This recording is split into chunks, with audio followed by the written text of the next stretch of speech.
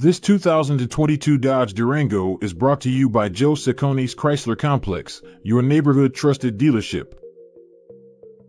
This Dodge is powered by all-wheel drive, automatic transmission, regular unleaded V6 3.6L/220 engine, and has 25,326 miles.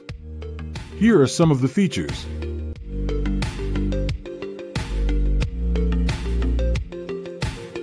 Visit us today to test drive this car and similar vehicles.